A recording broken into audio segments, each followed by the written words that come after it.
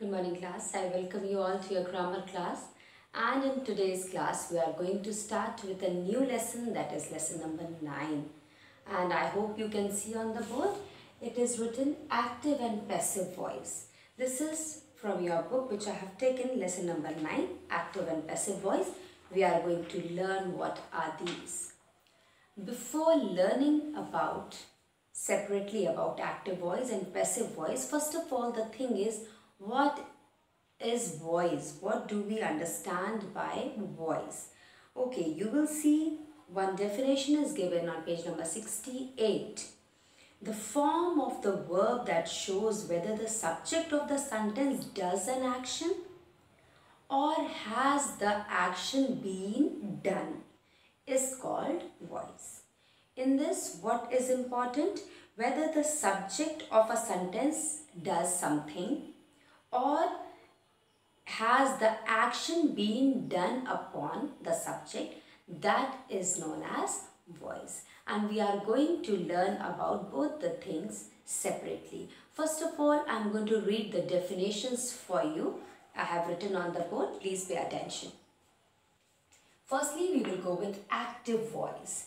When we talk about active voice, it means a verb. Okay? Verb. Remember, active voice means it is related to verb.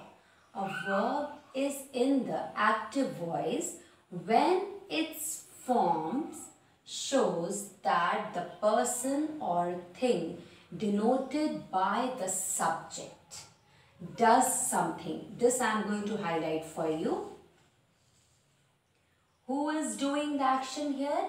The subject. This two I will be including with it. The subject does something. Okay, keep this in mind.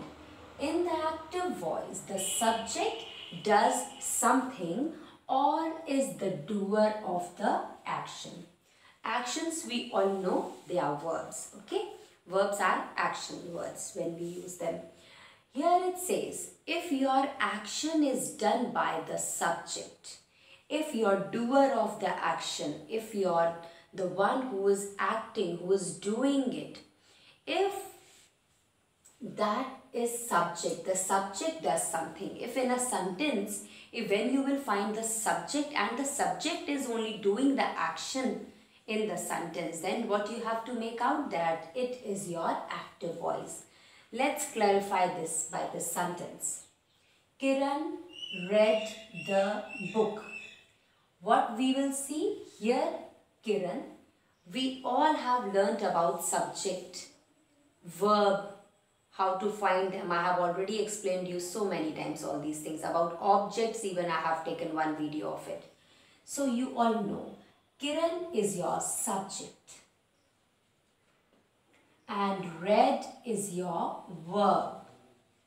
This is your verb. And what about the book? Kiran is reading what? The book means it is giving you the answer of what? Means it is your object. While finding out active voice and passive voice by solving them out when we are uh, converting them to active voice or convert, converting active to passive, you have to be sure with these three things, subject, verb, object. If you are unable to find these three things in the sentence, then it will be a very difficult thing for you to do all these things with me. So, once again we will see Kiran is the doer of the action and what is the action here? Action is reading. And what Kiran is reading? What is the object here? The book. You will see this example is given in the book only. I have taken from your book. In the first sentence, it is given, study the following sentences carefully. There, this example is given. It says, Kiran read the book. Now, doer of the action or the one who is performing the action in the sentence is Kiran. Am I right? Then, when we have understood the thing, the name which is in the position of the subject is doing the action. It is the only one who is doing the action means the subject does action. This is clear by this statement. Here our subject is the only one who is doing the action and what is the action? Reading the book. So we have understood by this. But when I am talking about passive voice, what is that? Children remember in active voice, what is most important? The doer of the action is important. Means your subject is important in it. When we want to tell about or tell somebody about my subject, then generally I use active voice. When when there is no importance of the subject or the doer of the action, only the action is important. The one who is doing it is not important, only the action is important. Then we say that we are using passive voice. We can use in passive voice those kind of sentences where only action is important and doer is not important.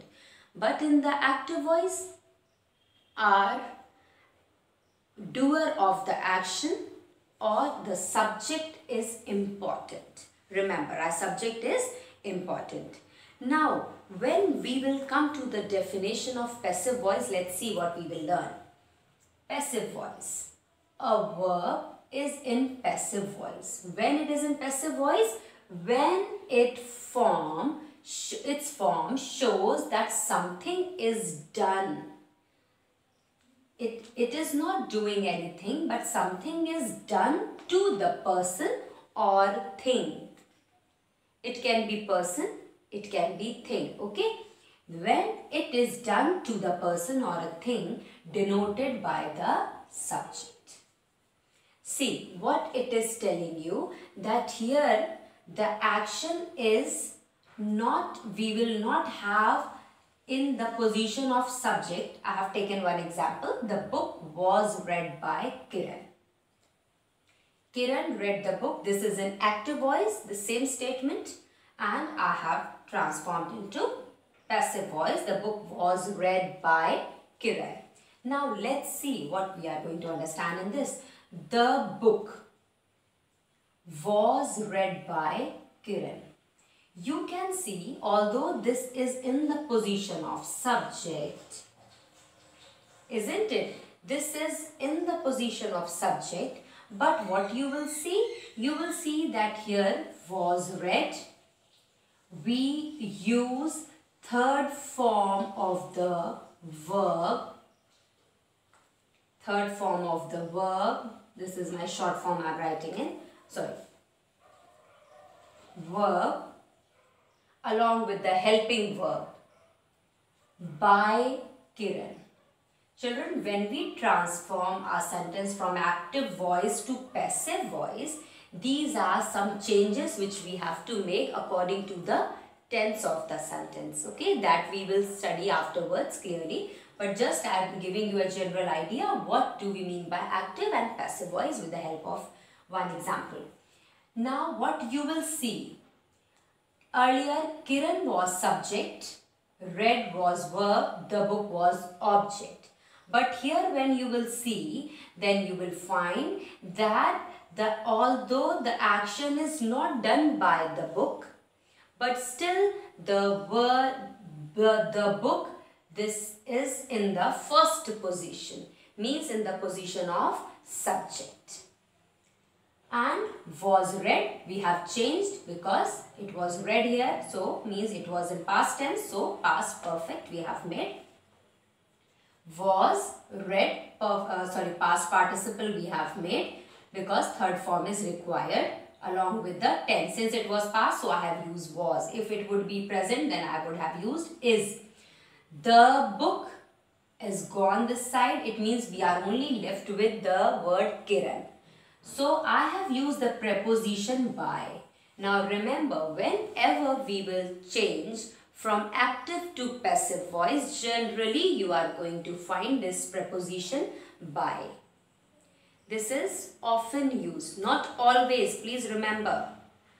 It is not that we always use it, but it is often used with the passive voice. So we have added the uh, preposition by and then Kiran, which was our subject earlier. Now it is in the position of object. So, I hope you have understood this that whenever we are changing from active to passive voice, we have to do these changes. What changes I have done with you? Once more I will be revising with you. I have shifted your subject. I have, sorry, you may say I have replaced subject with object and object with my subject. As you can see, the book was in object position. Now it has come in subject position. It was earlier your subject, but here in passive voice, it is your object of the verb. And this is according to the formula, according to the rule I have made the changes. So in this, what have you observed? It is observed that the subject is not doing any action. It is not the doer of the action at all. The book is not doing any action here. But what it is, rather it is receiving the action done by Kiran. The action is done by Kiran. The book was read by whom? By Kiran. Means Kiran is doing this action and this action is received by the book. Here you can see that action is received. Here you can understand that in this we have the subject who does the action and here the subject will receive the action. Remember once more we will do. Here the subject will do the action. Here the subject will receive the action. And this by word you have to keep in mind generally this is used with the passive voice. So this what I have explained you about active and passive voice. Now when we are coming to remember in the passive voice we only use third form of the verb and your helping verb will change according to the tense. If it is in present tense, we will change according to that. Is, am, are, whatever we will use. If it is in past tense, then according to that, has, ha, sorry, had, then was, were, all these we can use for helping verb I am saying. But your main verb will never change in any other thing but it will only change to third form of the verb. Then we are going to talk about the general rules for changing sentences from active voice to passive voice. Although I have already explained you with the, with the help of these two examples, but still once more I will take one example to explain you this.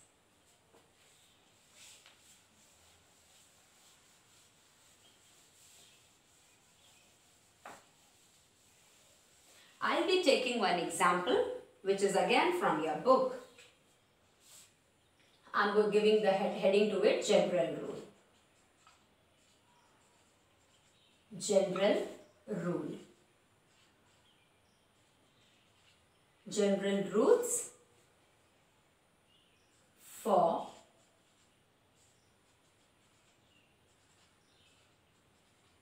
for changing or just I will give a short form for changing what? Active voice to passive voice. Okay, when we change from active voice into passive voice. I hope this short form is clear with you. AV means active voice, PV means passive voice. When my sentence is already in the active voice and I want to change into passive voice, then which rule I will go with? Here I will write one sentence. Anita plays badminton.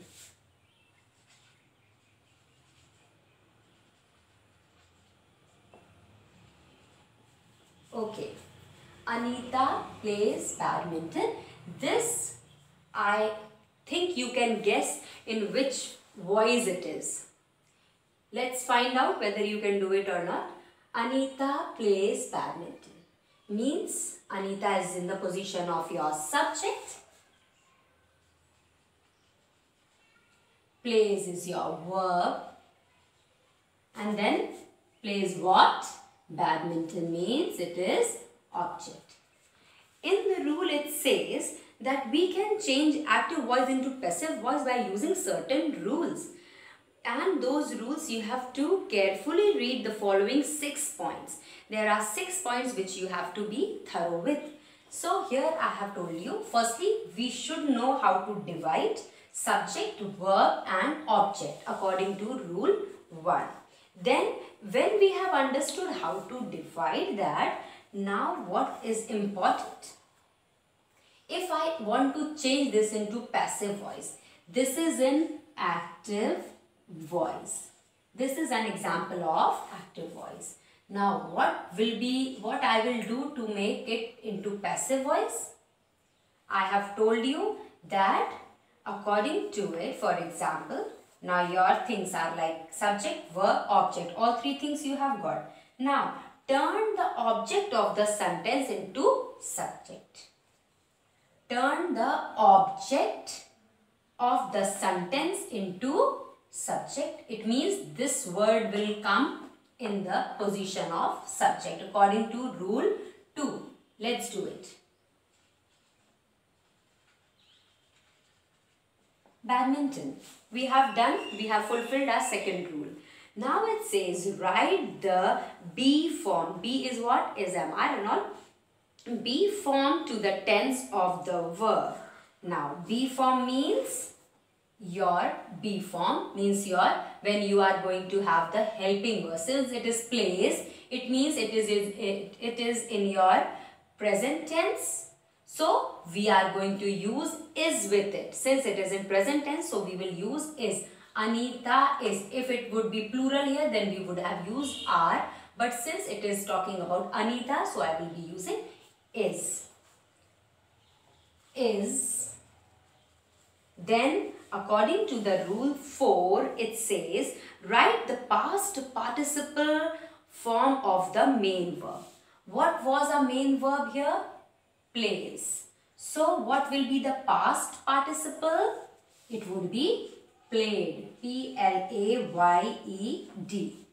Played.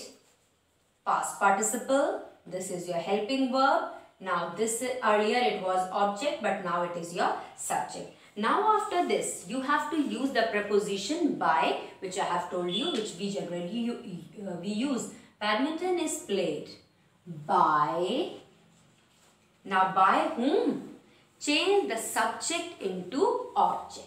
Now what is left? We have used this word, we have used this word, we have added by from our side. We have used auxiliary also, means the helping verb. Only Anita is left. Badminton is played by Anita. This we have changed into passive voice. I hope step by step when I have changed, now these things are clear to you. If it is not clear, what you can do, you can just go through these things. Everything is there in the book and then you will be clear with these things. Once again, we will just revise. Now, this is your subject. Although this is not performing any action. In the active voice, Anita was performing the action. Anita was playing badminton and all. But here, this action is received by we will see auxiliary verb or helping verb you can say. Then here it is your main verb. Then by is your preposition which we generally use. Anita is your object now. So you can say in the passive voice the action is received by the subject but in the active voice action is done by the subject. I am sure that you must have understood this. Further, we are going to see in our next video. Till then, thank you and take care.